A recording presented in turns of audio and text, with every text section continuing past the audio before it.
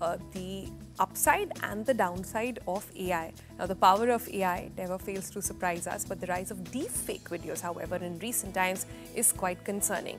For the second time this year, actor Alia Bhatt's deepfake video have gone viral, and this new incident has alerted many netizens to seriously consider the dangers of AI. This brings us to the question how do we protect ourselves from becoming victims of such illegal practices?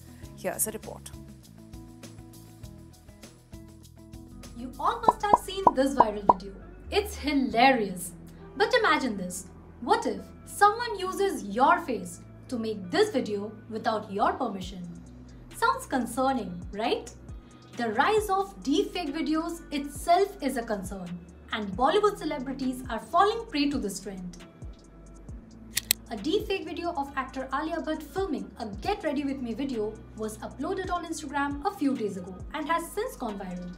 A user named Samiksha AVTR uploaded this video on their page, but it looks like it has been removed. Many Instagram users reacted to this video and expressed their concern over the misuse of AI. And like I said earlier, deepfakes of several other Bollywood celebrities like Rashmika Mandanna, Ranveer Singh, Kajol, Katrina Kaif and Aamir Khan had also surfaced earlier. Now coming to you. In case you still have not understood the magnitude of the power of such videos, then let me tell you that they can be used for personal revenge or attempts at blackmail or fraud. So how do you protect yourself? Well, the basic step is to be cautious about what personal information you share online.